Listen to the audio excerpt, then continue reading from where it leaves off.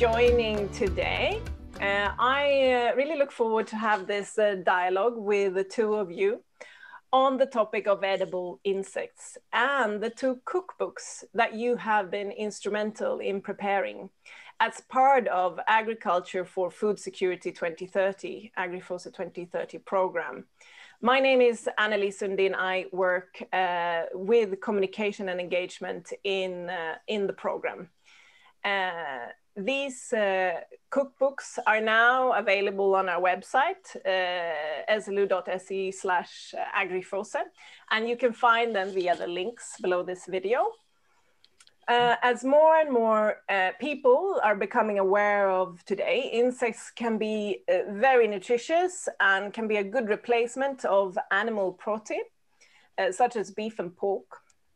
This has major benefits for our climate if we are to reduce our meat intake. It can also have potential to combat food insecurity, for example, when crops fail in a year with a lot of drought. Uh, edible insects can become essential for alleviating hunger. Uh, edible insects are common in many parts of Africa. Uh, however, today in many urban areas, they are losing in popularity. While in other parts of the world, uh, for example, here where I am based in Europe, we can see that some edible insects are trending and laws and regulations are quickly trying to adapt to allow for the trading and processing and preparation of insects as food. Uh, however, back to Africa, uh, you both set out on the quest of making the edible insect sector flourish uh, in both Zimbabwe and Democratic Republic of uh, Congo, as well as beyond these two countries. Uh, and as part of that quest, uh, you have been together with brilliant chefs and researchers uh, developing two cookbooks on edible insects. So before I start with my first question for you, I, could you please quickly introduce yourself? If we start with Linley. My name is uh, Linley Chimona Carlton, and I am an associate professor in rural development at the Swedish University of Agricultural Sciences. I am particularly interested in issues of food security and poverty alleviation, and not least when it comes to gender equality within these areas. Thank you, Linley. Excellent. And then uh, Robert in Zimbabwe. Okay. My name is Robert Musundire. I'm an associate professor of entomology at Chinhoyi University of Technology. I'm interested in working on the utilization of edible insects as food and feed. I've been working in the AgriFoSe program since 2016, uh, mainly to promote uh, handling, uh, safety, and marketing in Zimbabwe and the Democratic Republic of Congo. Thank you. Thank you very much. So, okay, my uh, uh, my first questions is a little bit around the why. So, why is it that you uh, came to this point to write these two cookbooks? Uh, and of course, you can tell us a little bit more about them. But what do you think that these cookbooks can contribute with, uh, especially in terms of food insecurity? And I would like to start with Linley, if if you think you can. So when you know the issue of food security and Agenda 2030 began to gain momentum, much of the discussions around animal source foods in relation to nutrition, in relation to climate change, but also in relation to stewardship started to take form. I found that there was one voice that was really missing, and that was the voice of women. And in this collaborative project, together with um, Robert, you know, what I found missing as a link was working with scientists from African institutions within the area of entomology or entomophagy and really trying to work together from SLU's viewpoint of looking at issues around global development, but also sustainability, thinking how could we look into these issues together at the same time as bring these forgotten voices of women to the forefront. And so with Robert, the interest was Robert, can you assist and work more on these issues of understanding insects and in Zimbabwe, but also can we gather and benefit from the knowledge that you have from a scientific evidence-based viewpoint mm. with respect to insects mm. to working in the Democratic Republic of Congo, where we are working with women that would like to develop enterprises around insects, but maybe don't really have this understanding of the science involved in terms of processing, but also right. preparation and thereby consumption and making sure mm. that they're markets. Mm. So I went on to engage more with the women in the Democratic Republic of Congo. And there were these fantastic women from AFAC. And these were a group of 30 women to begin with. And many of them were actually not, they were literate, but maybe not as you know not at the at that level of how can we now look into this from a scientific basis but they had so much knowledge yeah. in terms of what the insects were and how these particular insects featured in in various you know recipes and dishes mm. at the same time because we were in kinshasa they were very cognizant of the fact that the limitation in terms of consumption of insects was the price factor. They were getting increasingly expensive and rare. Mm-hmm. And so, how could we then not lose this wonderful knowledge basis that they had, both in terms of experiential um, lessons on which ones are edible, which insects are edible, how do you collect them, how do you prepare them, how do you preserve them, and when are they best consumed and how do you balance consumption in relation to availability and price factors. So for me, meeting Marianne and her colleagues, and together with Beatrice, my colleague from Sweden, going through this participatory exploratory phases of so which insects exist here? Can we do a market survey? And I'm telling you, these women went out and collected and brought back with them for a discussion so many different types of insects hmm. that they could then tell the story of how it reminded them either of where they came from in the Democratic Republic of Congo, when they consumed them in terms of their hmm. childhood, but also as adults or as mothers, and how they were dreaming of doing more than just preparing for themselves, but preparing for a bigger audience yeah. to preserve the culture and the knowledge which they had. So, this for me was the driving force.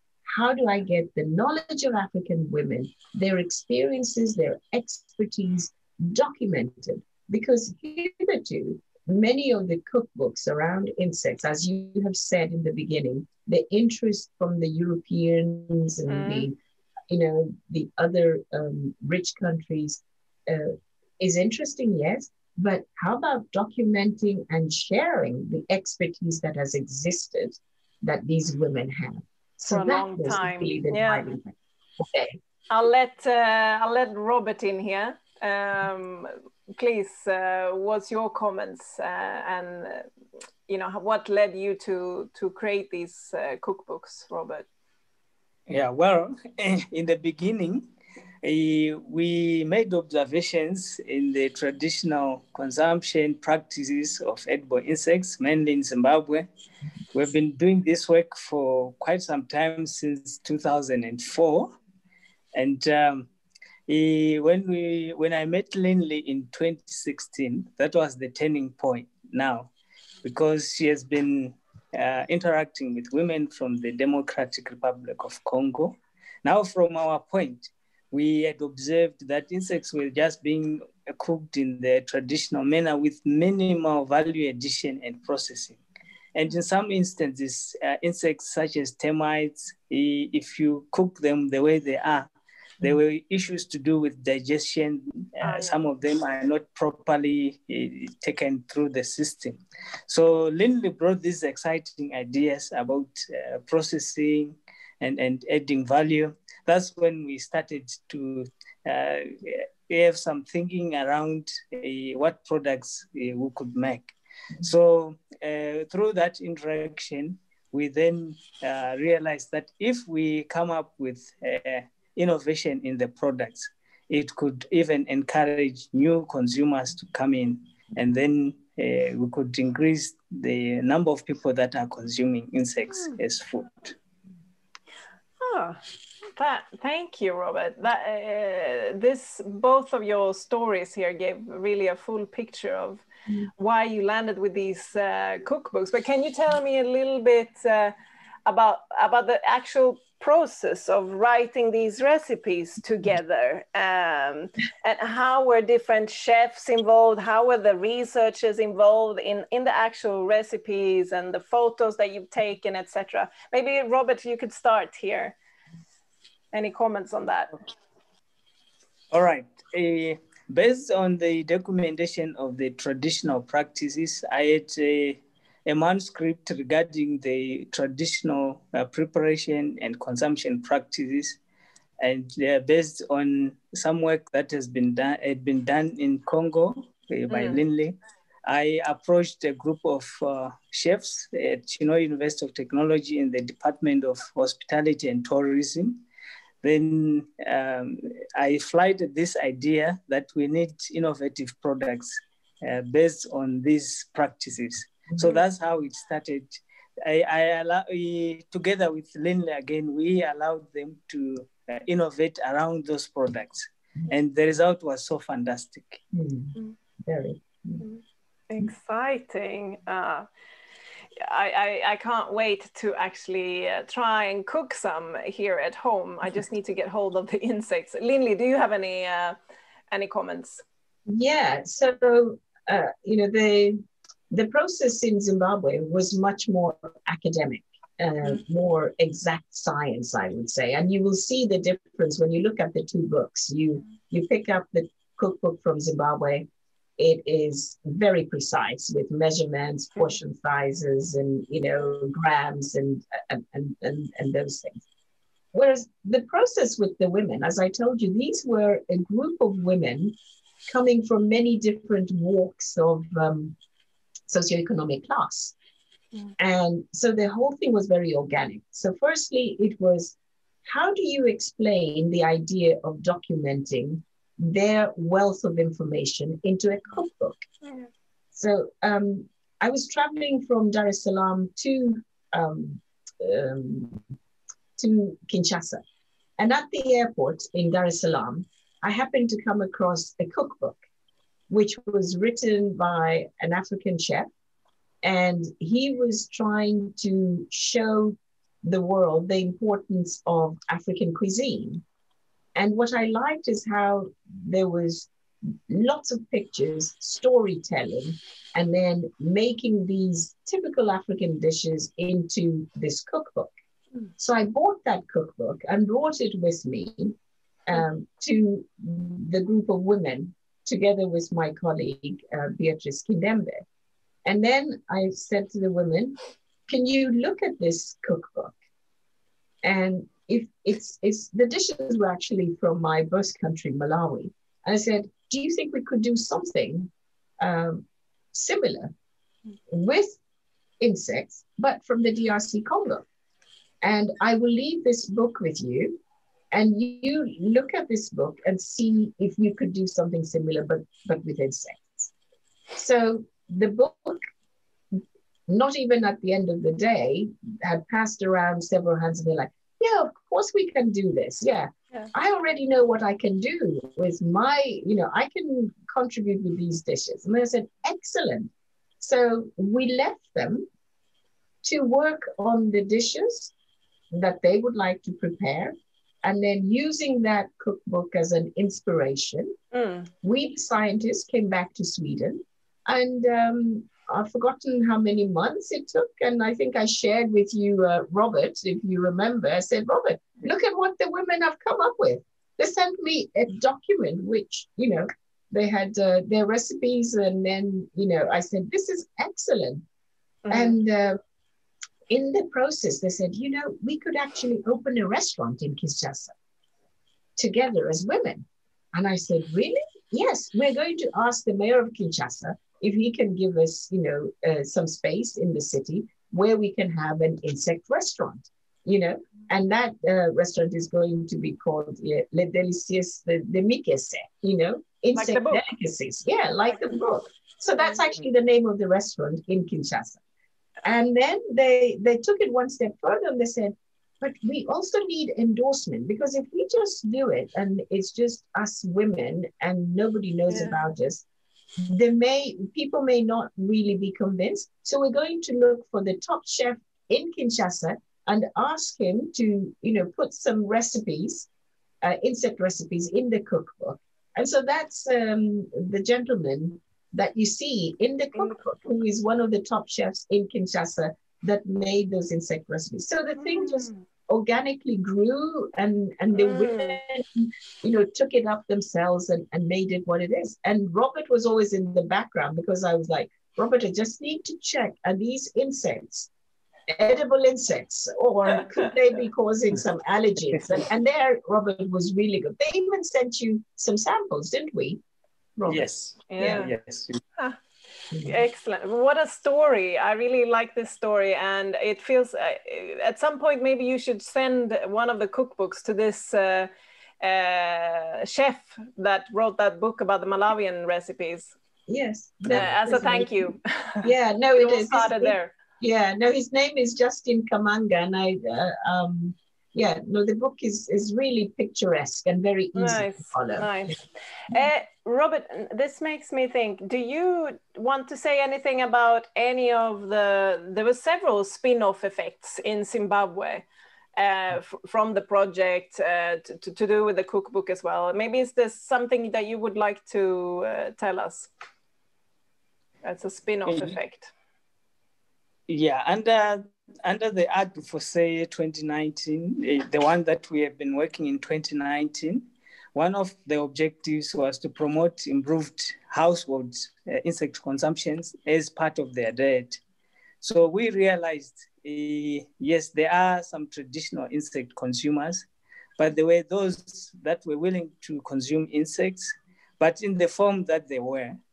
So again, based on experiences from the first phase that Linley was uh, working on, mm. we uh, then uh, deliberately decided to actually innovate in terms of improving processing and adding value to these uh, insects.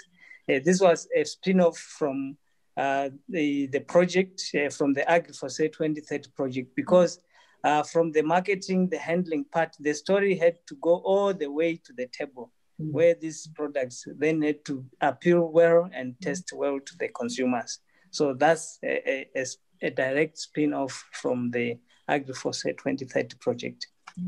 Excellent. Um, thank you very much.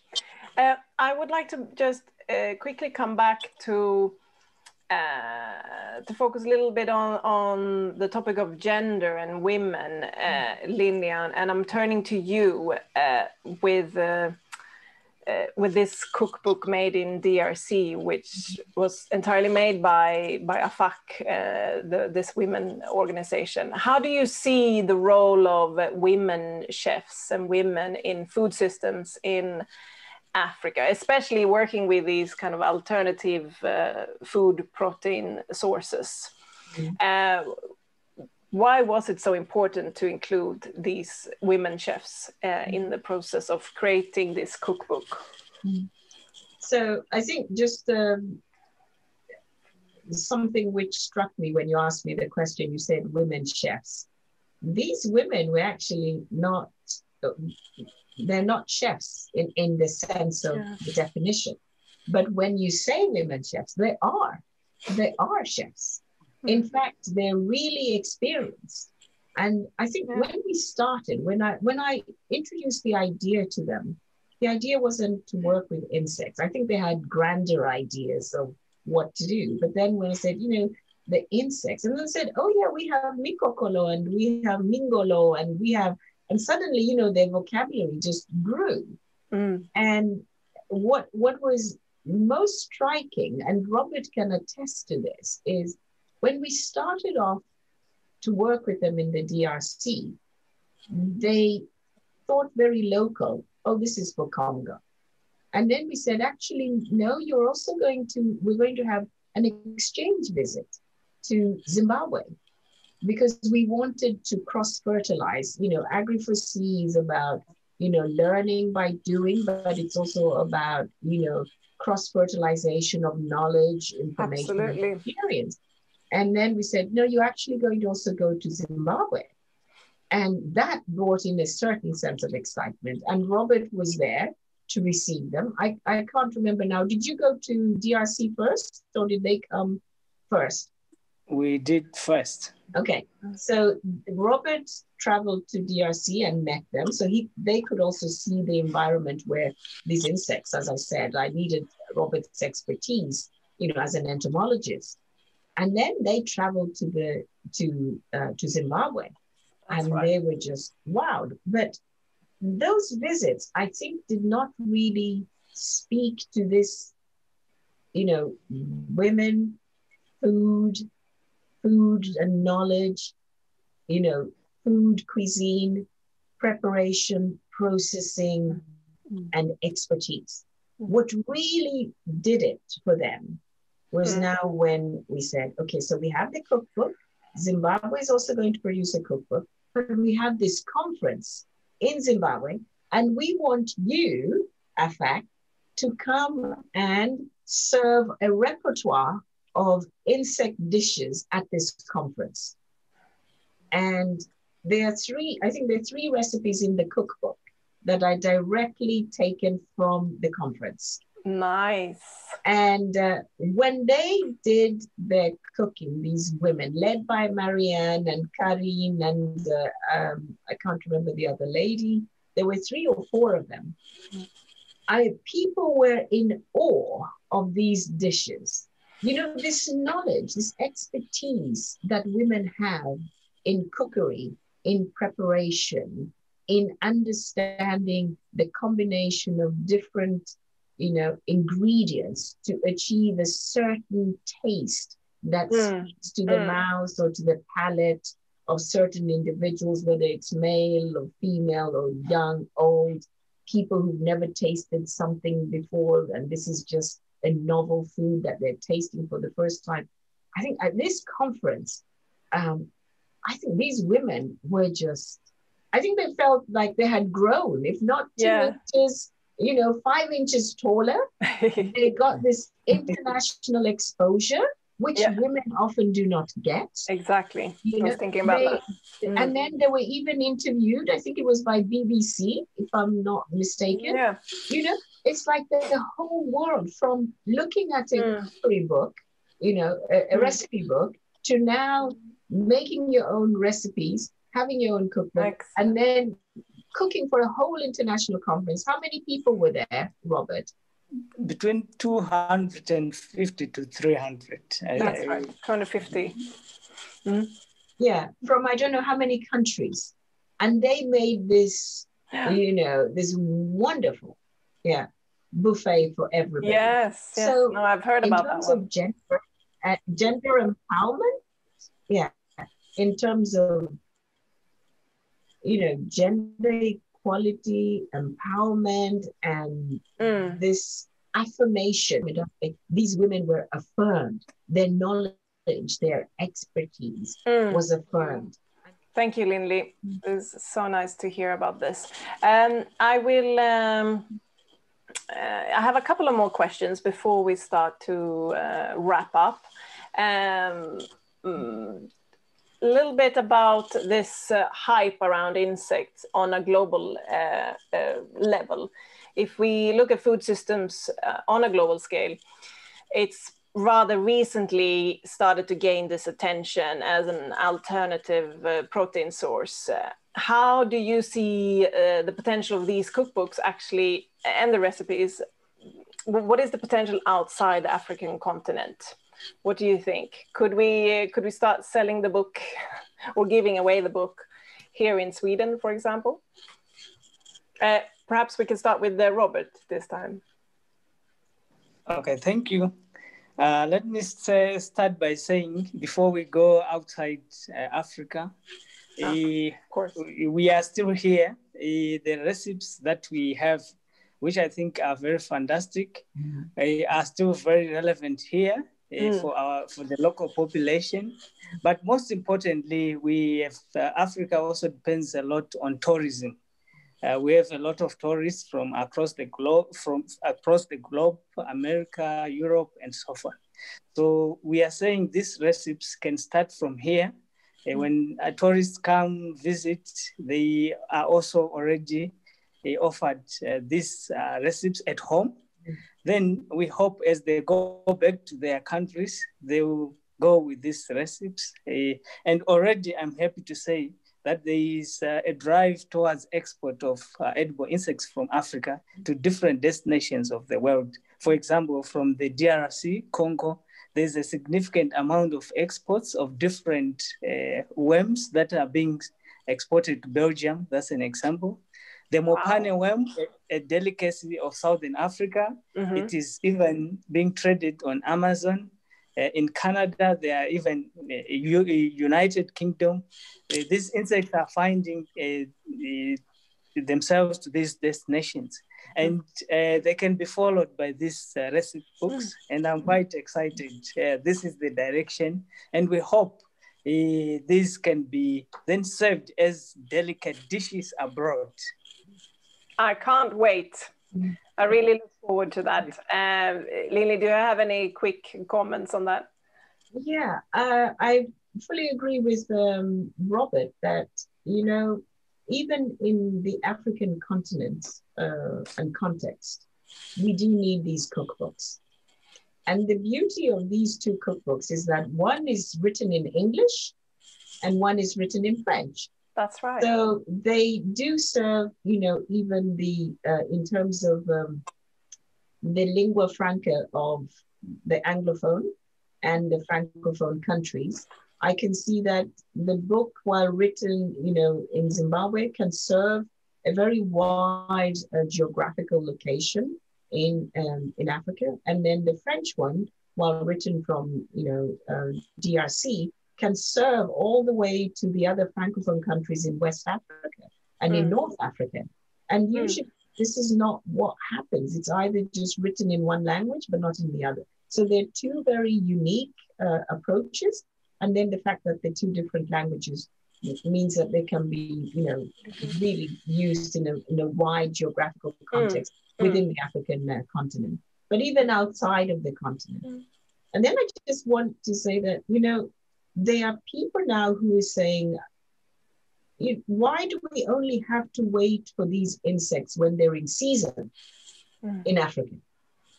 They, they actually ask, they say, you scientists, can you not do anything about it? And they're right.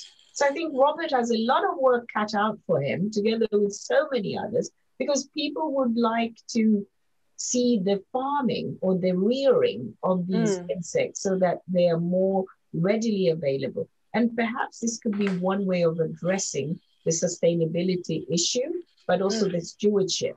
Because people have noticed that there is a shortage of these insects in terms of availability. And that's why the price is so high.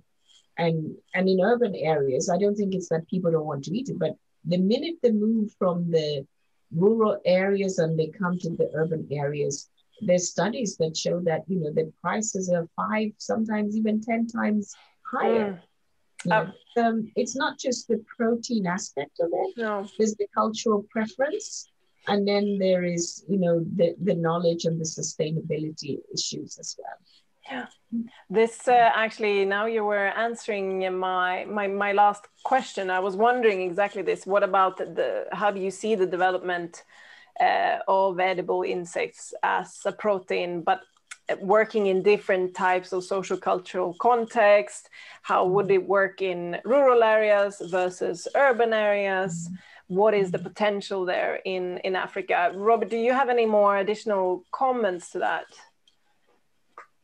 just to add a little bit on what Linley has already said, mm. I just want to say I can envisage a situation where this is uh, going to expand, mm. but this should be this is going to be on the backdrop of more product uh, innovation. I hope we are going to make more cookbooks uh, going mm. into the future. And uh, the supply side, as Linley has already said, needs to be addressed through uh, stewardship, conservation, uh, insect farming Marketing also needs to be strengthened mm-hmm. so that uh, people are made more aware of these products on the market. And issues to do with food safety and tracking. I think consumers are quite uh, concerned and they'll be interested in uh, uh getting mm. these things uh, to be sorted out before uh, they can be wide, widespread consumption. Mm. Mm. Very good and, and, just to add on, I think uh, what um, Robert uh, in the in the few years that we've been collaborating, there is no shortage of interest from the public. In fact, what we are seeing is that we are in short supply to, to support or to facilitate um, individuals that are interested in these um, in, in, in, in, issues around uh, both insect uh, production, but also in terms of uh, processing and um, and marketing and adding value. So the knowledge which um, Robert and colleagues at Chinhoyi University have put into this you know textbook in a very systematic you know, methodical uh, way. I think we need more of those, and in order to to to to address uh, and target a much wider audience that is interested in eating these um, these products, mm. because the way that they have been, you know, put into cookies, uh, Robert, and uh, into samosas, and exactly. you know, let's not forget hamburger type, you know, there is so much uh, scope for developing this within the African context. Yeah. And I think we've just, you know, been scratching the tip of the iceberg. So exactly. I'm very excited about that. But also the breeding aspects, Robert, mm-hmm. you might want to add something there. Oh yeah, the, the breeding aspect. Is there anything you want to say, Robert? Yes, uh, there's there's a lot of research going on mm. on different sex species. Uh, but I must say, the most tasty insects and the widely consumed one, there are still a lot of uh, challenges and breakthroughs that are needed. Mm. I can cite the Mopane worm, for example. This is a, an area that we need to continue working on so that we can uh, make sure that we can breed this in large quantities that can sustain the market. Mm. So there is more work to be done. Uh, that is uh, is good, but I, I, think we had there were lots of positive notes here uh, on the potential of uh, edible in insects as food.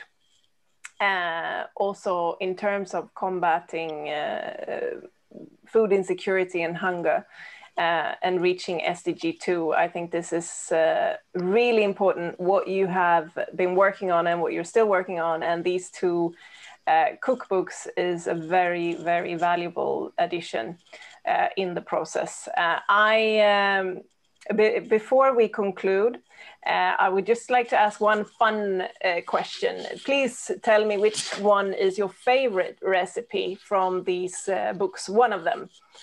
Um, Linley, please start. Wow. Um, Maybe there are many. there are many, but um, I just keep remembering, and I know that Robert knows this, when we were in Zimbabwe at the conference, and they had, it was like a, a pilau rice or jollof rice with termites in it, mm. together with mushrooms. Termites are my favorite insect. And of course, also the, the green elegant grasshopper but they they had made this wonderful it's in the cookbook it is this big, lovely, you know, uh, rice pilau or jollof mm. rice with termites and um, and and mushrooms in it. it. It's my favorite. And then nice.